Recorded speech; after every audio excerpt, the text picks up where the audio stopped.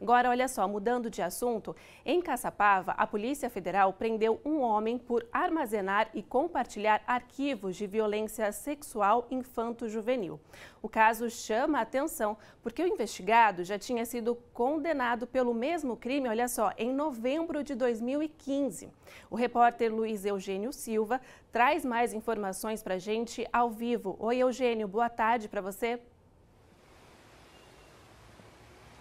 Boa tarde para você também, Fernanda. Bem-vinda e também a todos que nos acompanham no Band Cidade, primeira edição.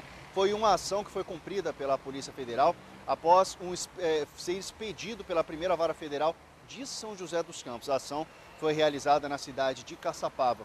No local onde a ação aconteceu, os policiais flagraram esse homem de 40 anos com conteúdo que comprovava o envolvimento dele com exploração sexual infanto-juvenil. Foram apreendidos arquivos e também foram apreendidos no local computadores, é, celular e também outros aparelhos eletrônicos que serão investigados pela polícia dentro de todo esse âmbito, de todo esse contexto. Lembrando que a Polícia Federal ela entra em ação porque esses crimes são realizados de forma eletrônica, através da internet. Então a Polícia Federal acaba sendo envolvida. Esse homem, ele já respondeu, ele já foi alvo de uma operação da Polícia Federal em 2013, em dezembro de 2013, ele foi flagrado pelo mesmo crime e em, em, novembro de 2015 ele foi condenado a três anos e meio de prisão por esse crime. Dessa vez agora ele pode pegar até mesmo 10 anos de prisão após ter sido flagrado novamente com todo esse conteúdo mais uma vez. A Polícia Federal, além de realizar essa operação,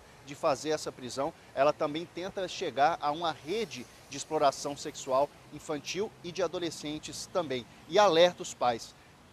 A importância da participação dos pais. Já houve outras operações nas quais a polícia teve sucesso após os pais se envolverem, perceberem coisas diferentes e realizarem denúncias. Então a Polícia Federal ela pede que os pais fiquem atentos ao dia a dia das crianças, dos adolescentes, principalmente as ações que eles realizam através de redes sociais e da internet. Como você falou, Fernando, então, ele é reincidente, foi preso em 2015, agora em novamente 2024. Desde, ma desde março desse ano, ele baixou e compartilhou pelo menos 460 arquivos com esse conteúdo proibido. E foi assim que a polícia chegou até ele mais uma vez. Volto com você, Fernanda.